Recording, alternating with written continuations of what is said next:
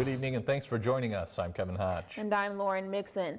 The holidays are known as a time of happiness and joy, but for some families, obstacles from earlier parts of the year still have to be faced during the season. That's been the case for Lucas Sami's family as they await a heart transplant for the five-year-old. We were all getting ready to go see him, and they're like, um, his blood pressure disappeared. Which, in other words, that means he flatlined. Now say Christmas! Christmas! Yay!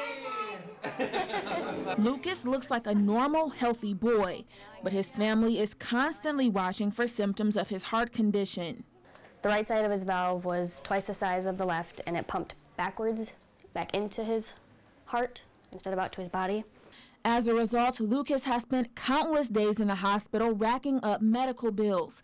He's even lost the tips of three toes on his right foot, and his family has to monitor his every move, even watching him with the camera while he sleeps. He's got calcified spots on his brain, which he had to relearn to walk, he had to relearn his words. And now Lucas is waiting for a transplant. Suite Salon Spa in Alpena holds a fundraiser every year during the holiday season to contribute to a worthy cause.